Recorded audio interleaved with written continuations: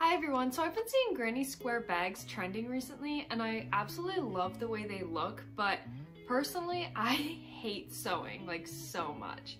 So I wanted to try to make a patchwork style bag that you can make without any sewing whatsoever. So I've been obsessed with Tunisian crochet recently. Um, TL Yarncraft, she has really good Tunisian crochet tutorials and I recently made a blanket of hers called the Pilsen blanket and it was a super cute blanket which had like different color squares and then they were made with a join as you go method where you didn't have to sew all the squares together, you can just create a column and then slowly add on columns as you go to the right, making a blanket overall. With that being said, I wanted to use that technique to make a patchwork bag, but completely 100% no sewing. And so it would be Tunisian crochet. So yeah, let's let's see how it goes. So I have this leftover yarn from Lion Brand, um, Heartland, and I have these colors and I thought they would be super pretty for this bag. It's kind of like a vintage look and I think it would be very cute. So when looking to see how people make their granny square bags, I just looked up a lot of diagrams online and I found this one that I really liked. So I was gonna try to aim with that look. I actually found it from this creator. I really like the way that it's more like a purse rather than like a tote and I thought that would be super cute to try. So my goal with this is I'm going to try to work the pattern in strips like um, TL Yarncraft's blanket, but where I need to, at the end result where you need to sew it, I'm actually just going to join it as we go. So at the end, it'll be put together and there won't be any sewing that you have to do at the end. I also was trying to figure out which Tunisian crochet stitch I thought would be super cute and I found the Tunisian full stitch and I think that would look really good for this bag because it would look kind of like basket weaved a little bit. I don't know, I think it'll, I think it should look really cool. okay, so I wrote down a little diagram of what I think this is gonna look like. I'm gonna keep you guys, I'll have this nice diagram here to the left of me so that'll help you guys a little bit more because mine's a little messy. Um, but yeah, let's just, let's just go for it. Okay, so for square one, I think I'm going to be doing this color. So this is the Grand Canyon color. Um, and I think I'm just gonna like wing what I think the size should be. I'm not really sure how big I want this to be or what it's gonna look like. So we're just gonna just chain a random amount that I think would look good. I feel like that's a good amount for like the first square. We'll find out. I'm going to just make square one and I think I'll come back to you guys when I have the first square done. Okay, so I finished square one and I feel like this is a pretty good size. And then I fin I fastened it off too because this one is kind of like by itself a little bit. Um, and then two as well, square two is kind of by itself as well. So I think I will just do one more of these, but I'm not gonna fasten it off because I'm gonna continue up the up the column. So yeah, the, I think this this full Tunisian crochet stitch looks super cool. I'm really excited to see what this is gonna look like all together. I just finished with square two and I did not fasten off because now we're gonna work up the the column. So here's square two. And then I think I want to use the orange color because I think that'll be super pretty. Just going to change colors here and then do exactly the same amount of rows that I did for the other two squares, but just in red or orange. But I'm also, while I go, I'm also going to be attaching to square one um, yeah, so I have joined square three. So like, I think if I'm understanding the diagram correctly, so like this is gonna be one of the tops of the bag. There is quite a bit of like a space where all three squares were joined, but I think I'll end up doing like a row of single crochets up top so it'll kind of close that up together. I also did forget to mention that I do have a tutorial of this stitch and that is here. And I do have a tutorial of the join as you go method and I'll try to put that here.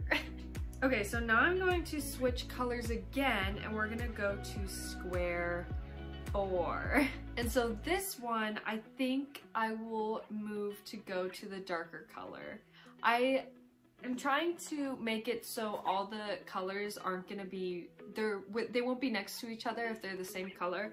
And if they are next to each other, it's just because they're all in like the same row it'll look more cohesive together. I'm gonna switch to this brown color now.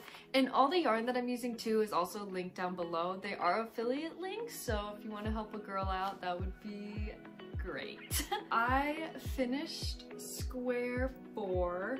It's so hard to picture what it's gonna look like, but I think it's gonna be super cute. I really like the size of this because I wanted it to be more like a purse and not a tote.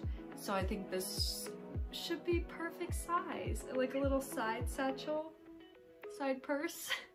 I think it'll be super cute. So let's see if I can figure it out. I think I may not video that process, so I will show you guys when I have up to here, maybe the next column completely done.